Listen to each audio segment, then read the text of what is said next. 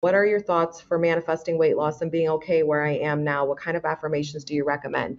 Well, so being okay right now is really important, right? That's what body positivity is, right? Even though we don't have the desired physique we want, we're still good enough and worthy and lovable, right? Because a lot of us we court we tie in our self-worth and our self-esteem with how we look. So body positivity is about even though I don't have the ideal body right now, I'm still worthy of being loved. Listen, I would tell myself this when I had little extra fat back rolls. I would be like, you know what, even with my fat back rolls, I'm still worthy and sexy and desirable. You know what I mean? It doesn't matter if I look like this now or I'm at my ideal weight, I'm still worthy and lovable and desirable, right? And you just really persist in a story like that, a story similar to that until you know that and you've accepted that as truth for you. And then for manifesting weight loss, again, so what is the version of you if you had the weight loss? What is the version of you if you looked in the mirror and you were like, holy fuck, I did it, right? What's the story you'd be perceiving?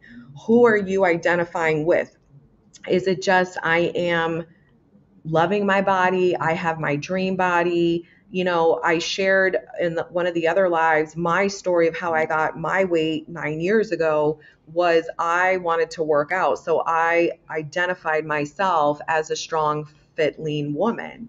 Like that's who I am. And so I exercise. I'm not saying you have to work out, but I'm saying, like, what is your version for you of what it means to have your dream body? Are you just someone who's naturally fit, right? Are you someone who just has a high metabolism? Are you someone who loves fucking yoga and you're a fucking yoga woman who, you know what I mean? Like, decide for you what it is you want and then you persist in that story that this is who I am. So, what I did was once I identified who I wanted to become, I would ask myself, okay, well, what does this fit, lean, strong version of me think when it comes to food and her food choices? What does this fit, lean, strong version of me think about when it comes to working out and things like that, right? So you can do this even if you're someone who's like, well, I don't really want to exercise. I just want to naturally lose the weight, like without doing anything really extra.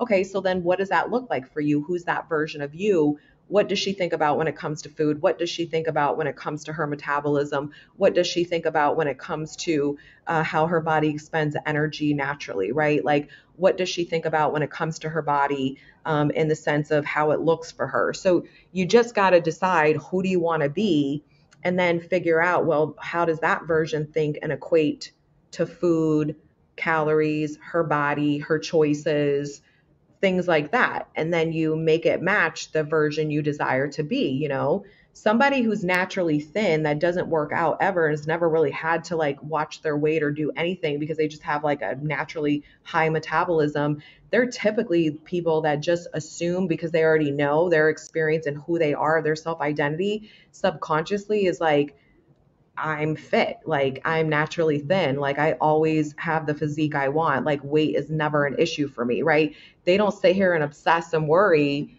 about dropping that 10 pounds, 20 pounds, or whatever, because that's not the reality they've been in. So they have a completely different mindset. Somebody who works out, it's the same thing. Like they don't sit there and harp. They look at food as nutrition. They can splurge once in a while. It's more for fuel, right? They look at, um, the kind of exercise they like to do. They start like for me, I love to heavy weight train. So I would not identify as like a runner because I don't do that. I've tried that. It's not my thing, right? So again, it's just knowing who do you want to be and then what's the story of all of that. And you just persist in it until you become it. And you will become it. I promise. That's how it works.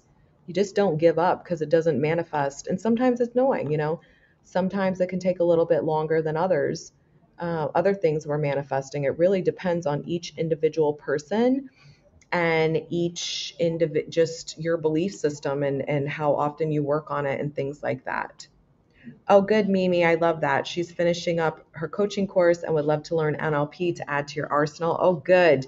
Maritza's the best, I'm telling you. Um, the best coaches also have awesome coaches I learned. Yes, we see this is a thing how the fuck am I going to ask somebody to invest in their, themselves and coaching and I don't do that for me? You see what I'm saying?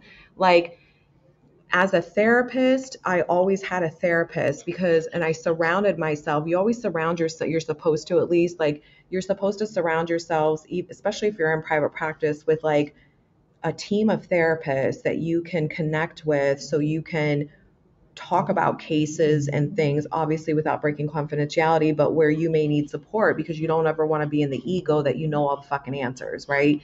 And just having that support. And if you're going through something in your personal life, then you would go to it if you needed support, you would go to another therapist or a coach to work through it so it doesn't interfere with you being a therapist, right?